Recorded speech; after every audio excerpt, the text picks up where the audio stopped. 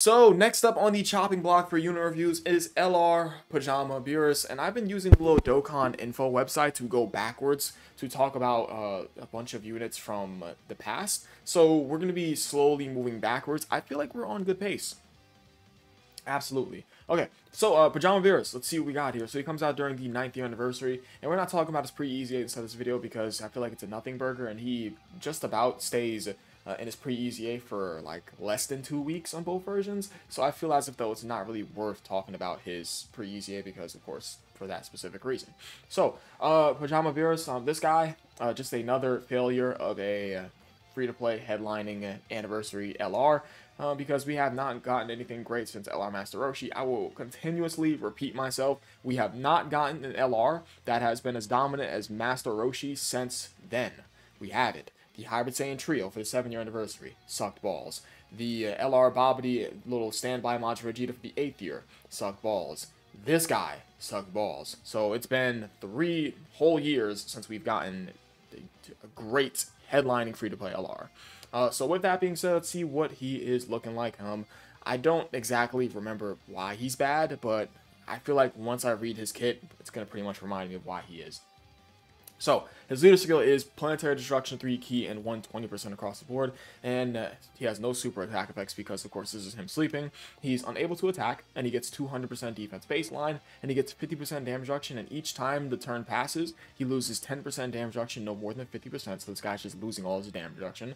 And all allies get 40% attack during the character's attacking turn. Cool. And uh, all allies will get an additional 10% attack up to 30% attack with each start of each turn.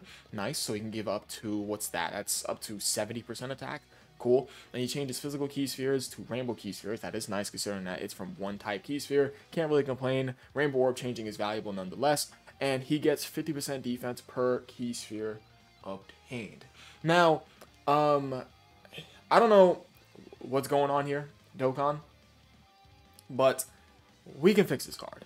It's very easy to fix this card. How about, how about, listen, and I don't know if Dokkan is open to, oh, excuse me, Akatsuki and Bandai Namco. I don't know if you guys are open to su suggestions, but uh, let's go ahead and uh, start this card out with 80% damage reduction in his sleeping form, right?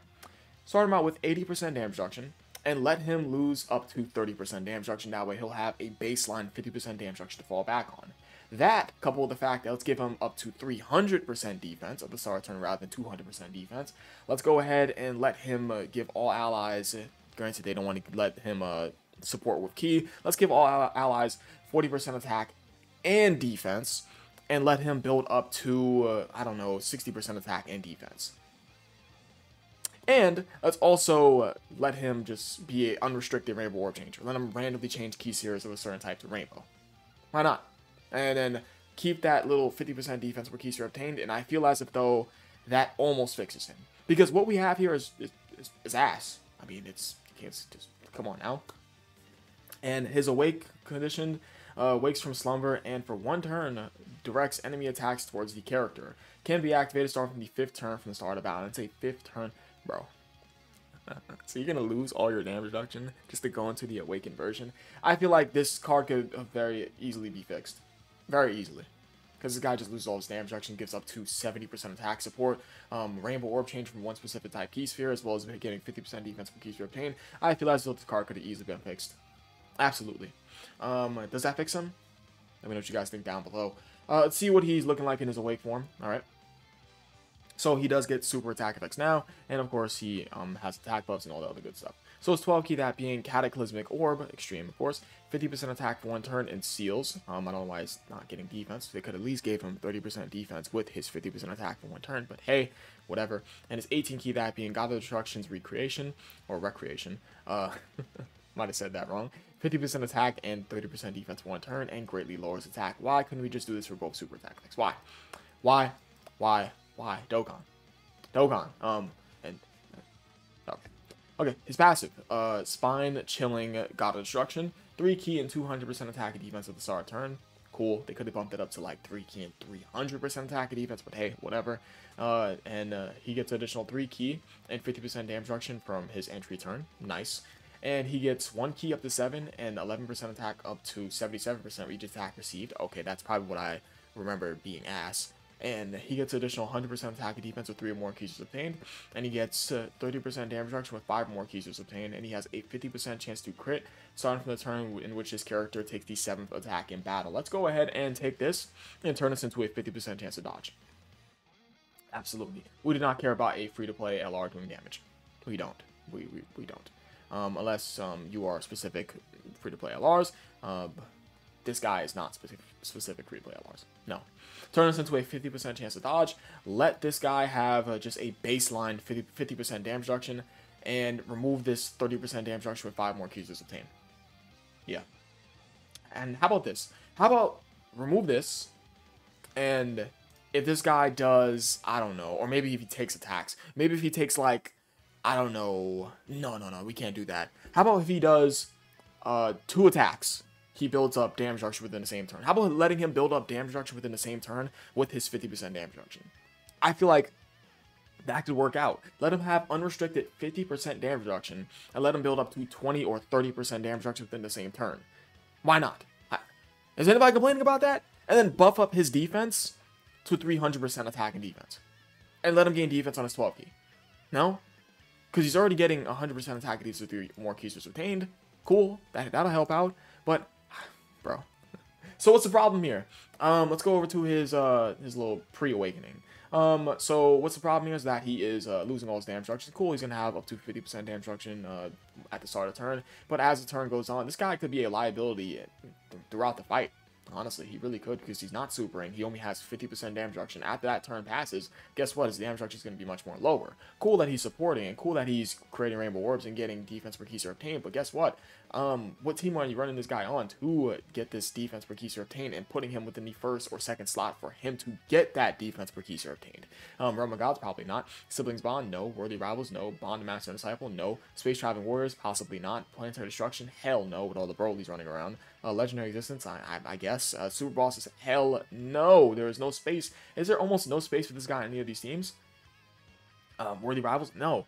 Um, Legendary Existence, probably no, no. Isn't UI running around in there? No, no, hell no. This guy sucks. He sucks. Is he at 30% damage reduction on the turn he comes back? the fucker's at 30% damage reduction when he comes back. All right. Um, so yeah, um, he, what's cool is that he's giving up to 70% attack support, Rainbow Orb changing, that directly supports his, uh, defense per keys are obtained. But the problem is, is that you do not want this guy inside the first or second slot. You just don't. You don't. You don't. You do not. Because there is no way, if this guy does not get enough key spheres, he is getting touched all the way up. And God forbid he takes a super, he's dead. He takes a normal, he's probably dead too. And do keep in mind he can't attack. Um, so uh, pre-awakening, just garbage or garbage or either or, however you want to say it. Uh, we go over to his post-awakening. um, no defense on his 12 key. Um, I, I would honestly wish that he had additional super attack chance as well as or, or guarantee super attack built to him.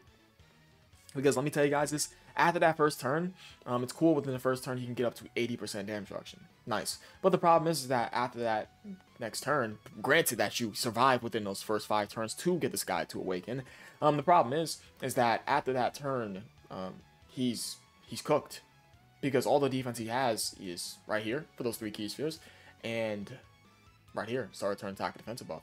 So realistically, um, you got to get five key spheres. You always have to get five key spheres with this guy. And why is he not Rainbow Orb changing to help him get those five key spheres? Why did they not keep this from his pre-awakening? Why? Why?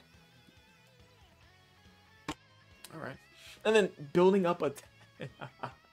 Does he really need a 50% chance to crit after receiving the 7th attack? 7th!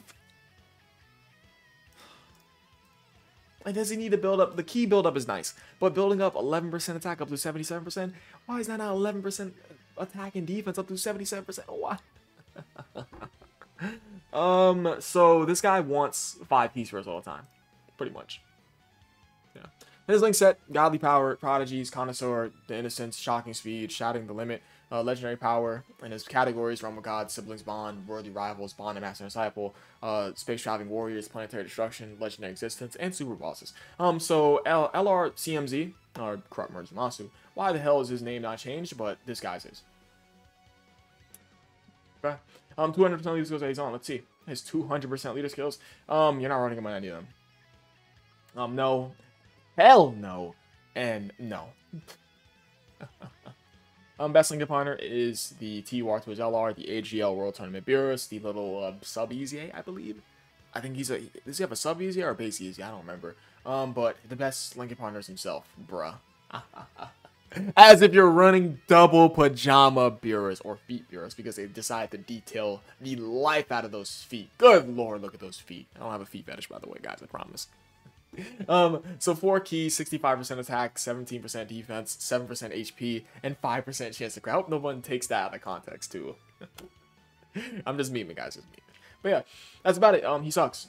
Yeah, um, Roshi um, continues as uh, just the greatest free-to-play headlining LR ever. Yeah. Because uh, Hybrid Saiyan Trio, ass, from the 7th anniversary. Uh, let's see. Um, Babidi and the Standby Majin Vegeta, ass. And this guy, 9th anniversary, ass. And then prior to LR Master Roshi, uh, the Zamasu Goku, he gets a pass. Experimental. He was the experimental LR EZA. He gets a pass. He's garbage, of course. Straight, straight garbage. But, um, he, he gets a pass. So, so that's about it. Um, Pajama Beerus, doo-doo. They're just butt cheeks, uh, trash, um, garbanzo beans. That's it. Yeah, he doesn't fit on any of the category teams he's going to be on. Are you running him on any of those 200% leader skills? Hell no. I appreciate you guys watching. You guys are the best. I'll catch you guys next time. I absolutely love you all. Peace.